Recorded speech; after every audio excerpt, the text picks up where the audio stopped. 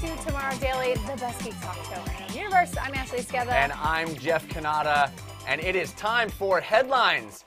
The first of which is about toys. The New York Toy Fair is spinning down, and there's some really high tech toys this year, particularly from Mattel. The toy maker announced two products in particular that caught our eye. First, they unveiled an updated Thing Maker, but instead of the goop baking box from the 1960s, this time around it's a 3D printer for kids, complete with an app to design custom toys. Mattel also brought Barbie's Dream House into the 21st century, complete with voice commands, color changing lights, and other Internet of Things compatibility. Both products will each cost $300 and will hit retail stores later this year. Interestingly, Hasbro went with a much more analog approach, kind of the opposite from what Mattel was showing off. Arch rivals to the bitter end. Yeah. But I'm we'll, we may have to talk about that later this week. I think maybe that's a Thursday topic in the waiting. It, it might be. Uh, so let's talk about Vanderbilt University. There is a team of scientists there using a $40 cotton candy machine to create artificial human capillaries. Human capillaries are very, very small, about one tenth the diameter of a human hair, so creating artificial capillaries has proven pretty difficult for scientists. But the Vanderbilt team is using a store bought cotton candy machine to spin up sugar strands. Then they pour gelatin over the cotton candy, which coats each individual strand.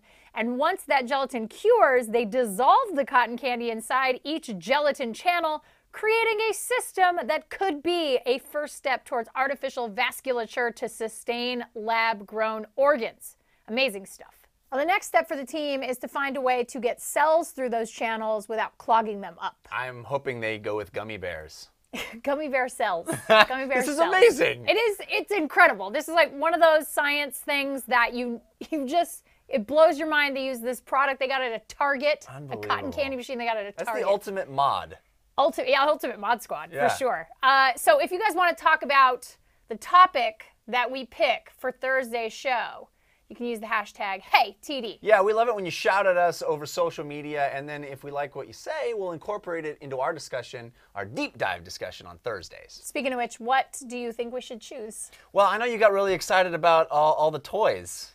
I, like think uh, that- talking about toys. You know, I think even more interestingly is the Hasbro approach. So I feel like we have to talk about that. Okay. And and why they might be moving in that direction for this year. I think cotton candy organs is pretty crazy, but yeah, May- I'm with you. Let's go toys. we we have a wild card, so we might be able to pick two from one day, but well, maybe let's people go can uh, give us their recommendations as well That's using right. that hashtag HeyTD. That's right. So now that that's all been said, let's check out our photographer of the day. Today's photographer of the day is Chuck, who took this infrared photo on his iPhone 6 using a, a fancy pants attachment. Yeah, he writes to us and says, Jeff and Ashley, love the show. Attached is a photo of my two golden retrievers snoozing. The picture was taken with an iPhone 6 with an IR adapter by FLIR, F L I R. The shot shows different degrees of heat from the dogs. White is the warmest. On the dog in the front, you can see his warm breath. You have my permission to use this photo on your show, Chuck. This is good for when you're playing Metal Gear Solid with your dogs in real life. That's right. You're looking for them, and you need to make sure they're sleeping. You, check them out in the dark. We Yeah, gotta make sure sleeping sneak in the up dark. on 'em. You don't want to turn the light on because they might realize you're there, and then it's gonna be just licks all day long. They're gonna jump all over you and give you little And dog slurps. Your, your heat map will Yeah, be much hotter. It's all ruined. It's Oh, all yeah. then it's all ruined. So yes, that's very handy for making sure your dogs are asleep in the pitch dark of night. Very cool photo, though. Thanks a lot. If you want to be our photographer of the day, send us your photo. Tell us what device you took it on. Give us a little story about it, and make sure you give us permission to use it on the show as well. Yeah, our email address is right down here.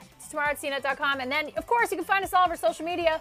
Uh, we are all over the show on the internet, guys. Yeah, we love hearing from you, and we uh, will be back tomorrow with more headlines, and then Thursday we're gonna hit you with some deep dive stuff. So, Yes, and we will have a guest Ooh, having yeah. to do with gravitational waves. oh man, I'm very excited about you that. love science. Yeah. Don't miss Thursday's show. Uh, that is it for the show, guys. Until next time. Be good humans. Bye.